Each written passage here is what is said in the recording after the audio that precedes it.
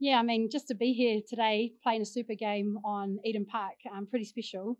Um, obviously, it's something that some of us girls who've been around for a long time have been been wanting and, and pushing for. So to see that happen today, today was pretty cool.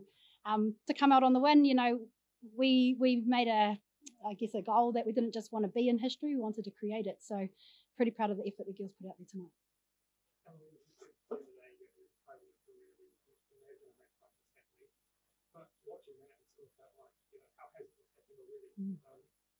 Sum up, what has it sort of, you know, to this whole week, sort of walking out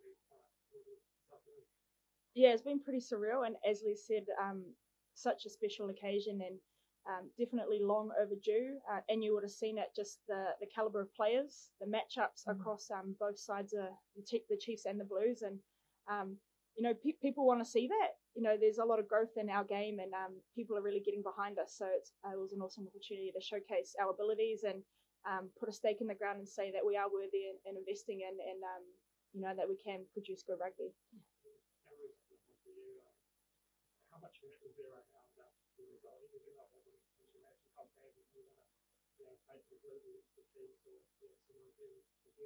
Oh, I think results aside, um, just a, a massive occasion for women's rugby and um, congrats to the Chiefs. It was it was an awesome game. Um, I think the positive for us is that we did create opportunity.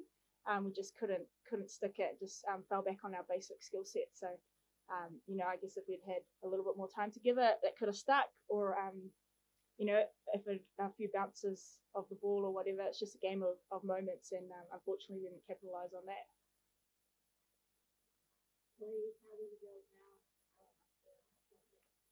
Um, and just soak it in. You know, we, we talked about it before we ran out. Um, we had our karakia and, and we were just brought back to um, where our feet are at. You know, we were here, we were grounded in the moment and, and just take it in and, um, you know, do your best to to add value to this jersey. We're the, the privileged first to be able to pull this jersey on. So, you know, we are only the caretakers and moving forward, um, we want to leave it in a good place so that the future who comes um, after us can, you know, add add to um, what we have already put into it.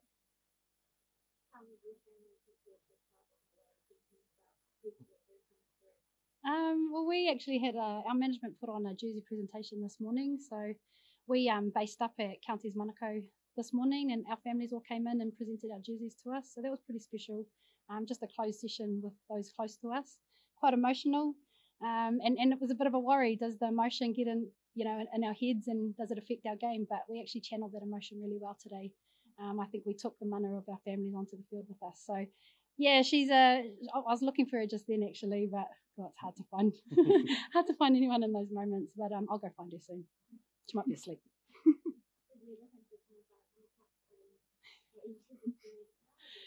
Hundred percent, yeah, a. yeah. You know, we've come off the back of club yeah. as well, which is another um, a little bit slower pace. So just um, being able to have uh, the the types of players that we did it definitely sped the game up and um, made for some good running rugby. Yeah, quite physical battle out there. Mm.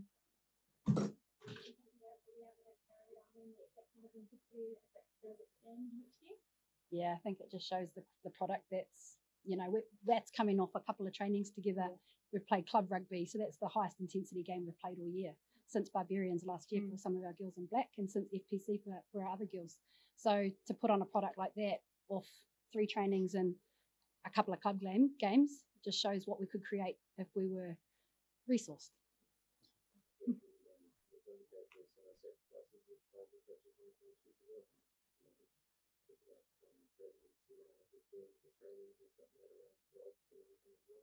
Yeah, totally. I mean, it's it's big picture stuff, and, and we knew, you know, obviously really happy to come over with the result, but it was more about uh, the occasion than anything. So we really brought into that, and, and the girls, as I say, the sacrifice they did make was was all about that, and, and obviously to to come away with the win uh, just makes it even more special.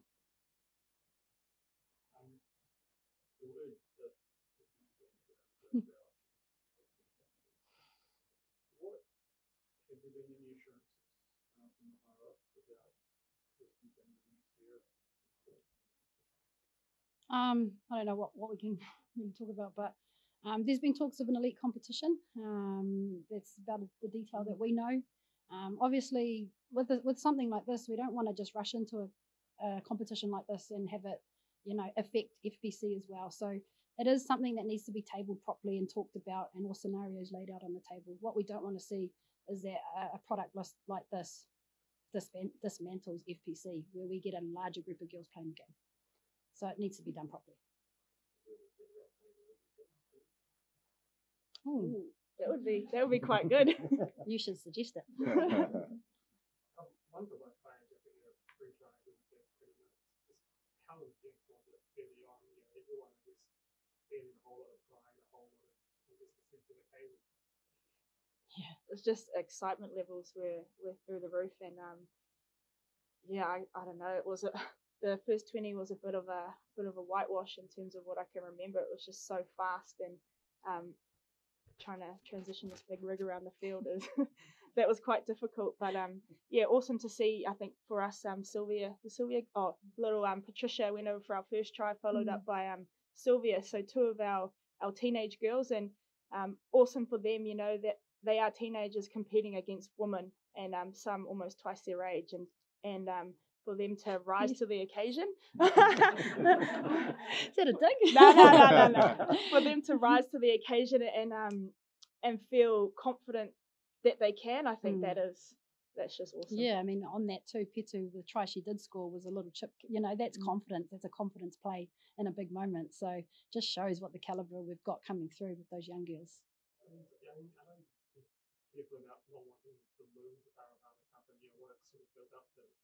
The. But is it fair to say that when you have you know, the Blues, the Chiefs, those are, I guess, brands or you know, things that people do maybe notice a bit more? You know, I think it's fair to say the men's game, yes, Super Rugby obviously is a lot more popular than the, um, I mean, NPC.